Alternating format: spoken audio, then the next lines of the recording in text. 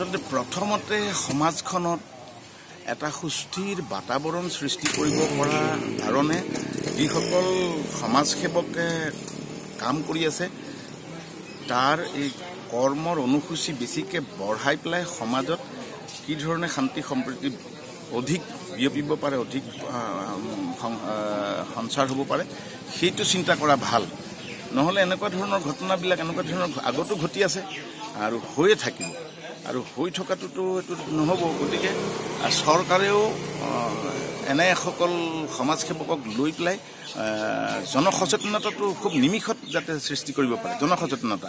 যাতে সৰু সৰু ইউনিট বনাই মানুহৰ মাজত সেই সেই যি যিসকল মানুহৰ বা যিসকল যিবিলাক উৰ্বৰ নহয় মগজু যেতিয়াও আদিমৰ উল্লাস থকা জেগাবিলাকত সংস্কাৰৰ কাৰণে সংস্কাৰ সেৱক কিছুমান লৈ পেলাই তাত তেওঁলোকৰ প্ৰতি জাতি জনগোষ্ঠীৰ মানুহ লৈ পেলাই এসকল সংস্কাৰ সেৱক লৈ পেলাই এই সংস্কাৰৰ কাৰণে তাত কিছুমান প্ৰজেক্ট লওক নহ'লে আকৌ হৈ থাকিব ইয়াৰ পিছত।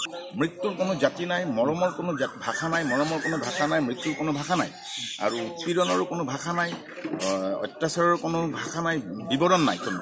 গতিকে নিৰ্মমটো সদায় নিৰ্মম নিষ্ঠুৰতাটো সদায় নিষ্ঠুৰ সদায় নিষ্ঠুৰ অনুচিতটো সদায় অনুচিত সামাজিকভাৱে। তাৰ কোনো জাতি নাই তাৰ তাৰ কোনো ধৰ্ম নাই।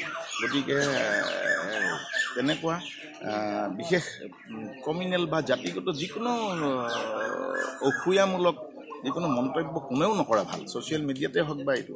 আমি দেখিছোঁ ছ'চিয়েল মিডিয়াত মন গ'লেই লিখি দিয়ে। সমাজত বিৰূপ প্ৰতিভা প্ৰভাৱ পৰিবৰ কাৰণে তাৰ পৰা যে কিমান বেয়া প্ৰভাৱ পৰে সেইটো তেখেতসকলে ভবা উচিত।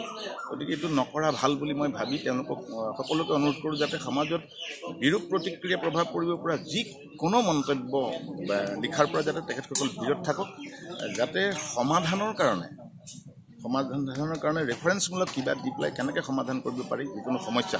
সমাজত হোৱা অসূয়াবিলাক কেনেধৰণে নিৰ্মূল কৰিব পাৰি তাৰ ব্যৱস্থা কেনেধৰণে ল'ব কেনেধৰণে ল'ব তাৰহে ব্যৱস্থা কৰক। এটা হৈ গৈছে আৰু যাতে তেনেকুৱা নহয়। এইখিনিহে আমি ক'ব পাৰোঁ আৰু এইখিনি খুব দৰকাৰ হৈছে এতিয়া।